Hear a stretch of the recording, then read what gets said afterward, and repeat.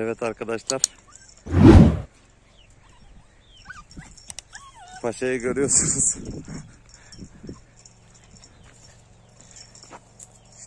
Aşağıda babamla babaannem her gün şöyle görüyorsunuz bir kazan et yapıyor. Aşağıdaki ne kadar kedi köpek varsa hepsini doyurdum sıra bunda. Heyecanlandı. Sıcak geldi herhalde. Bekle oğlum acele etme. Soğuyunca ye. Ağzı yandı galiba. Bakayım. Biraz sıcak ama o kadar da sıcak değil.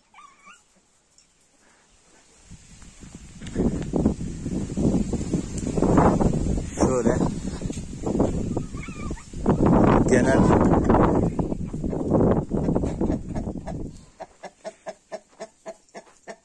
Aşağıdakiler iki tane yumurta var bugün burada. Aşağıdakiler hiç acımıyordu. Çatır çatır yiyordu. Sanırım iki tane de yumurta orada var. Bunun GSG'ler bayağıdır 3-4 gündür yumurtayı kesti. Zaten 3 tanesi gruptu. Diğerlerinde yumurtayı kestiler. Kessinler zaten tüy zamanı. Bugün bak yavaş yavaş soğu soğudu. Arkadaşlar görüyorsunuz bak kocaman yumruk gibi eti bir kere de yutuyor. Yani tavuk kemiği falan verdiğiniz zaman bunlara bir kere de yuttuğu için bağırsaklarına takılıyor ölüyor sonra bu hayvanlar. Yani ya bir yaşına bir buçuk yaşına gelmeyen köpeklere kemik kesinlikle vermeyin. Çok heyecanlı oluyorlar çünkü eti görünce hemen direkt çiğnemeden yutuyorlar ondan sonra takılıyorlar. Boğazına takılıyor, bağırsağına batıyor. Ve kurbanda ben uğraşmam. Babam o dana falan kesince kemikleri var ya ben onu falan almakla hiç uğraşmam. Babam almış kendi kendine işte doğruyor, köpeklere kaynatıyor, suyunu kaynatıyor, veriyor, bir şeyler yapıyor. Ben de getirip döküyorum sadece.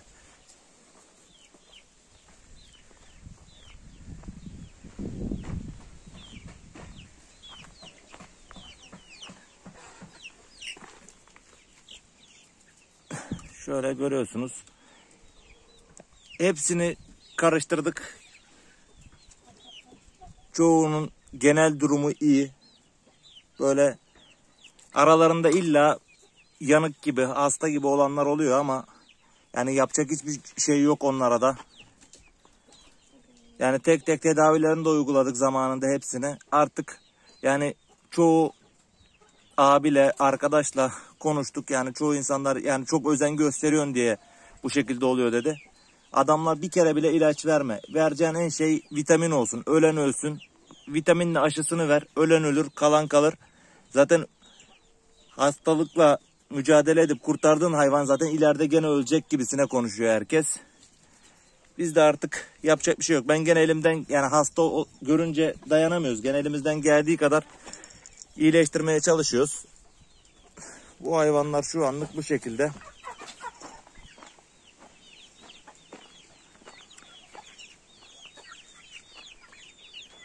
Bunu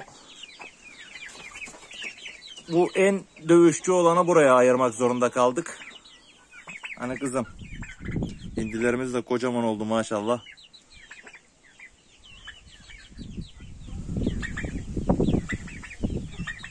Bunu buraya ayırmak zorunda kaldım. Çünkü diğerleri de yavaş yavaş birbirlerine kapışıyorlar. Alan küçük olduğu için. İlla yakalayıp yaralıyorlar birbirlerine.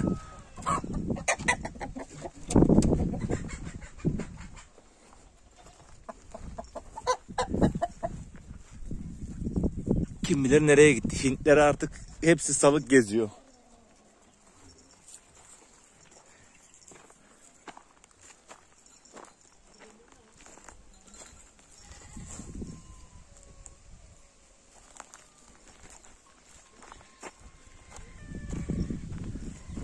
Heh, aşağılara gitmişler. E, geri kalanı sürüye karıştırdım. karıştırdım dedim. Sabah geldiğinde salıyorum. Akşam yerine gene kapatıyorum. Görüyorsunuz.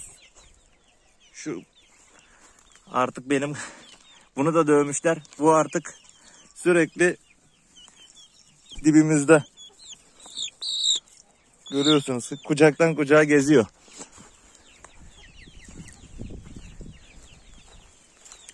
Hepsini bir dışarı salayım dedim.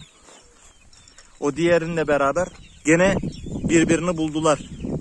Gene kapışıyorlar. Bunun da kafaya gene mavi şey sıktım çünkü hafif böyle kafa değişik kanlı gibi görünce ötekiler de vuruyor. Şu an hiçbir sıkıntıları yok. Aynı şekilde takılıyorlar. Birbirlerine bir zararları yok şu an. Büyük ihtimalle bunu diğeri liderliğe oynuyor. Bunu da en büyük tehdit olarak gördüğü için nerede olsa buna saldırıyor.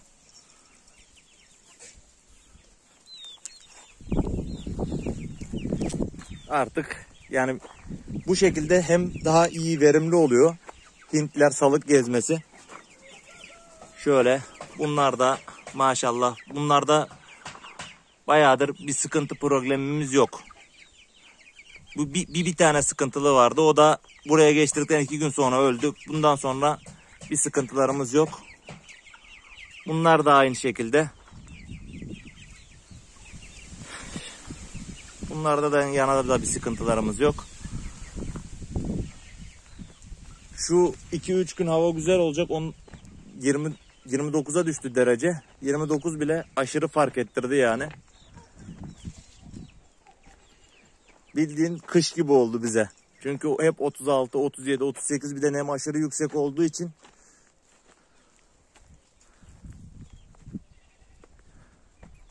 sıcaktan durulmuyordu yani. Şu an havalar iyi oldu. Görüyorsunuz herkes hava hafif güneş kaybolunca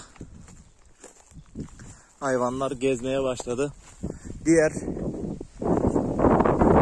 3 tane horozu çıkarttım. O hasta olanların yanından. Onlar da gayet sağlıklarına kavuştu. Sadece biraz zayıf kaldı diğerlerinden. Diğerlerinden dediğim kiloca biraz zayıf kaldı. Biri mesela şu.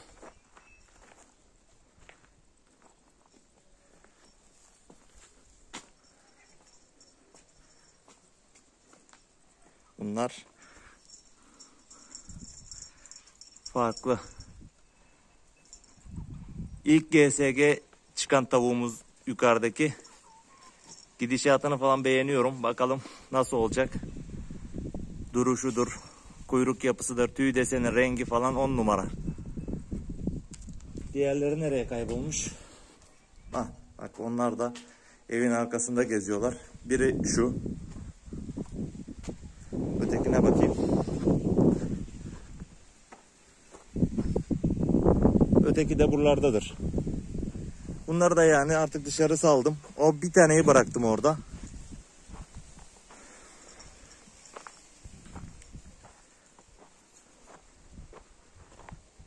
Bayramdan dolayı yani misafirlerimiz geldi.